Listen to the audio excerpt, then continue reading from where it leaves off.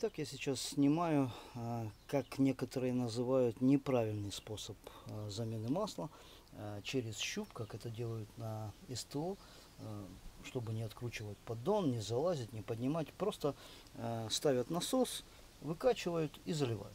Так как я делаю это на «Жигулях», то здесь может э, играть такую роль, потому что пробка заливная внизу стоит, не сбоку, а внизу. И вот сейчас мы и проверим. Я вставил э, заборной шланг э, в насос, который сделал сам.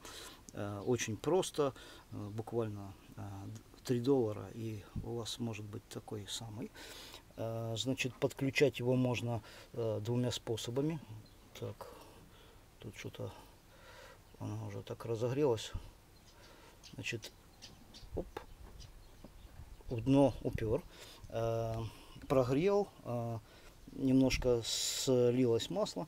Значит, подключить его можно или а, в 12 вольт от батареи, или таким блоком питания а, от какого-нибудь роутера, неважно. Вот в такой разъемчик я поставил.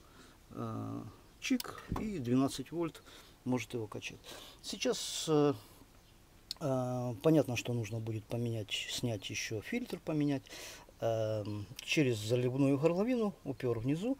И сейчас включаю и посмотрим, чем это все закончится. Я хочу выкачать полностью, а потом еще снять э, заливную горловину и посмотреть, сколько не вылилось. Э, какое количество? Ложка, 2, 100 грамм.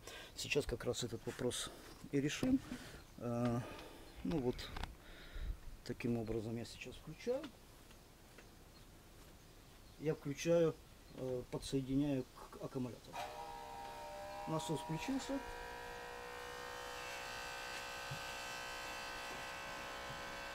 Масло полилось.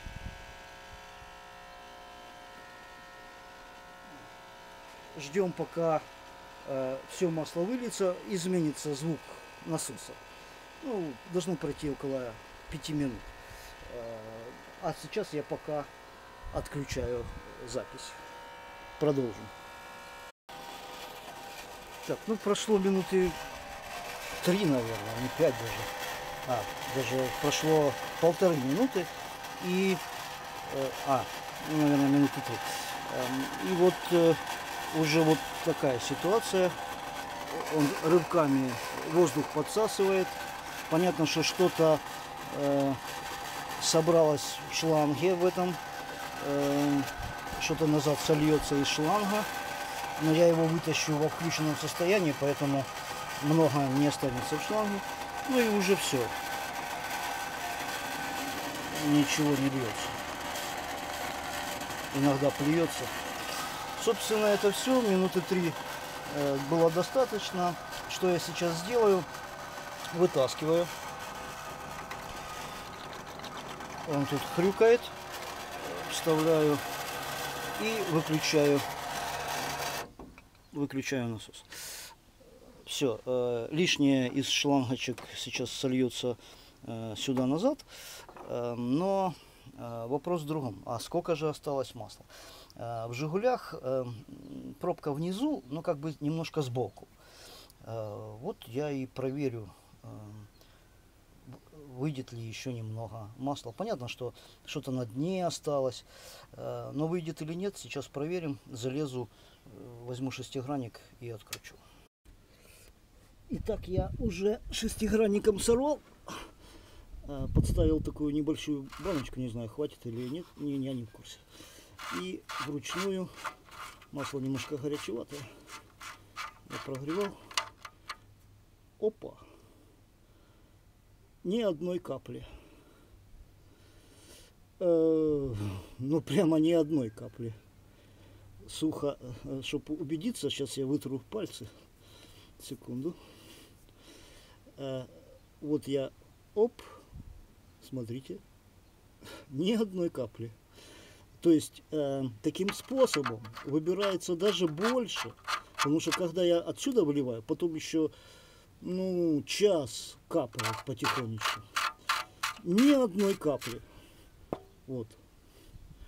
А, ну, кто-то может сказать, что я подстроил. Ну, понятно, что все можно сказать. не подстроил. Э, Я еще не поменял фильтр, не откручивал. Э, Но суть в чем? Ни одной капли. Ну, собственно, сами вы делаете вывод, э, поступать так или нет. Подписывайтесь на канал, думаю, что будет интересно. И другие видео о э, автомобилях и ремонте бытовой техники. В том числе о том, как вот сделать такой насос. Очень просто заказал, поставил и все. А это э, пнев- м, шлангочки силиконовые из магазина. Они бывают белые, бывают синие. В Продаже я зашел, только синие были, я купил. Э, Подписывайтесь на канал, увидимся на канале.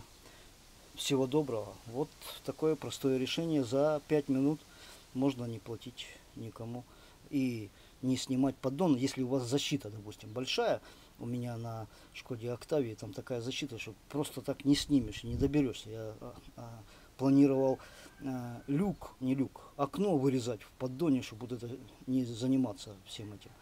Но оказалось, вот такой метод намного эффективнее. Увидимся.